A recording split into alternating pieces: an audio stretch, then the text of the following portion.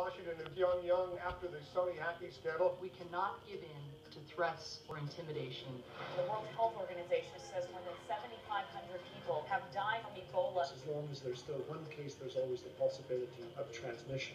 The U.S. economy grew at its fastest pace in more than a decade. You may not know it if you listen to the people screaming on Capitol Hill. In the third quarter, it grew by an annual rate of 5%. In France, authorities are deploying 300 extra security forces following a series of attacks which left one person dead and 30 injured. French authorities say they don't see a connection to terrorism. NASA is dreaming of building a city that floats in the clouds above Venus. Given the technology that we have now, it seems like a doable type of a thing. We began with the very latest on a series of cyber skirmishes, and the question could it trigger a cyber war? In Seoul, South Korea, the president there is blaming cyber terrorists for a grave leak of data from the firm that operates that country's 23 nuclear power plants. Now, North Korea is a suspect in that hack. They are what you might say rebooting after a nine and a half hour internet outage that took that country offline. Now, so far, no one has taken responsibility for either the South Korean nuclear hack or pulling down North Korea's internet links. And the U.S. State Department is not confirming or denying anything. I don't have anything new to share with you today about North Korea. The president has spoken to what our potential responses, separate and apart from what we've seen over the last 24 hours, might be. And I leave it to North Koreans to talk about if their internet was up, if it wasn't, and why. President Obama had threatened a proportional response to North Korea, directly accusing that country in the massive hack of Sony Pictures. Now, North Korea threatened attacks against theaters that were showing that comedy, The Interview. The film's plot is based around a CIA scheme to assassinate North Korean leader Kim Jong un. Now, after initially pulling the interview, Sony now says that that film will be screened in independent theaters on Christmas Day. That could be a couple hundred theaters around the U.S. Joining us from Watertown, Massachusetts, Dr. Jim Walsh, an international security expert, also research associate at MIT's Technology Security Studies program, and from Newton, Mass, Paul Roberts, a contributing writer at the Christian Science Monitor, who also posts on his own blog, which is called the Security Ledger. Uh, Paul, let's start out with you. Assuming that North Korea was actually behind Sony's hacking here, will they retaliate for the release of this movie in theaters across the U.S.?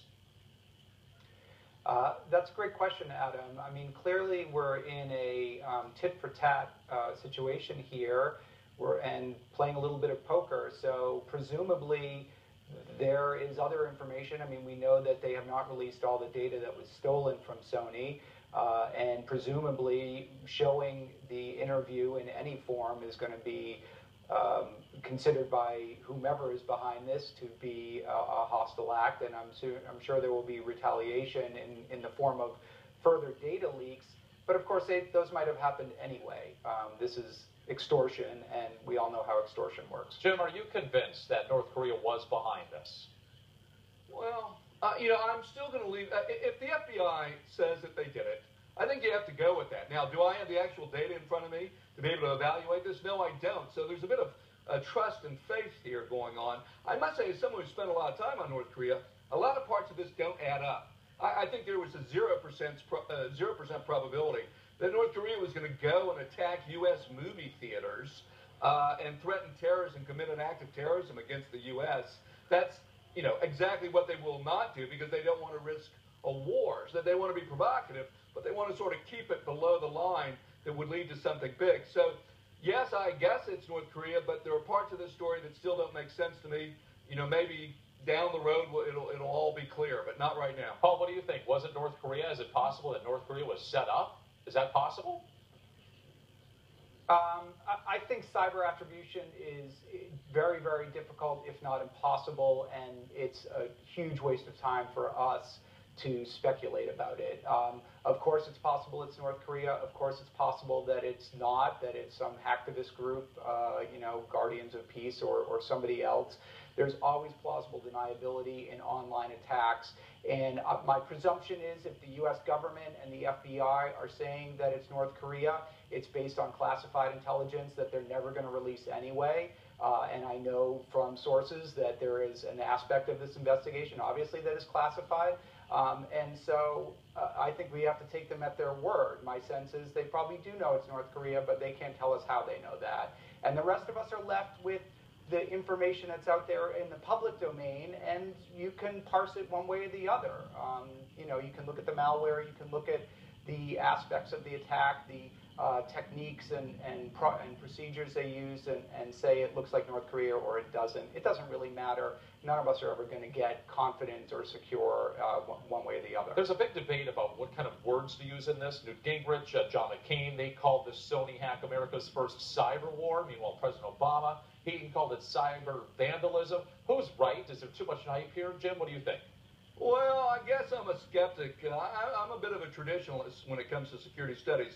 This is a war. No one died. You know, in the in the physical world that we operate in, and uh, scholars who study it, uh, a war is something where you have a thousand battlefield deaths. Now, Sony was embarrassed. There were emails out. It, it's economically costly. That's all bad. And, and but it's not a war. Uh, now, people can say it's it was different, and I do think it was different. Somehow, this linking of extortion with threats of terrorism at individual movie theaters, if in fact that's what it was, you know, that's different. I agree with that. But it's not a war. Uh, and, you know, there are scenarios, we'll probably talk about them in the future, of things that could happen. But I think there's a lot of heated, overheated rhetoric about this yeah, in, let's, in the wake of Yeah, what, so what exactly would a cyber war look like? Paul, what do you think? What is a cyber war? What does it need to attain in right, order so, to reach that label? Well, that's a really good question. And I think one of the problems that this whole incident has brought to light is that we haven't had a, certainly not a public conversation, and my sense is even within policy circles, not a very clear conversation about what the ground rules are. And it's one of those things that people have been saying for years. You know, we really need to get clear on what cyber war is and what we're going to do and what we're not going to do. Paul? And this Sony incident kind of yeah. Is, is, are industries prepared for cyber attacks, cyber war? You actually wrote back in October that Homeland Security is warning companies uh, to be able to look out for what you call here black energy. What exactly is that? Is this a legitimate warning? Is uh, what does that mean? Right. So there are there have been a number of incidents, black energy being one of them. There was another piece of malicious software called Dragonfly that have been targeting critical infrastructure, including energy uh, grid operators and, and other utilities. It's unclear whether these are designed as kind of uh, to give people a foothold that might be used in some kind of a cyber attack uh, that would might be part of you know cyber war, uh, or whether they are designed there to steal information that might be used competitively by uh, by competitors. It's really unclear. And again, with with with online attacks, it's very hard to know for sure what their purpose is and who's behind them. So back in November, the NSA chief uh, Admiral Michael Rogers warned of ongoing efforts to try and infiltrate uh, like critical infrastructure. Is the power grid most at risk here? One of you guys want to chime in on that? Maybe Jim. Well, you know, I think this is a problem we focused on pretty hard at the government level. I, back in the 19, mid 1990s, when I was at Lawrence Livermore Lab, we had a project, or they had a project on critical infrastructure then. So you know, for DOD, for particular categories of government, I think they've worked hard on this problem. I think it is a hard problem, but people have been aware of it for, you know, more than a couple of decades now, so they're working on it. I think private business, less so. You know, a dollar spent on security is a dollar that's not a profit. So I think there's more challenges for big private corporations. Uh, Jim, you know, I think I, you make an excellent point right there. I mean, when you're talking about cybersecurity, this is very expensive in order to protect all of your infrastructure. We're going to have to leave it at that, gentlemen. Uh, Dr. Jim Walsh and Paul Roberts, both joining us from Massachusetts. Thanks so much, guys. Thank you. Thanks for having me, Adam. Switching topics now to politics, starting with a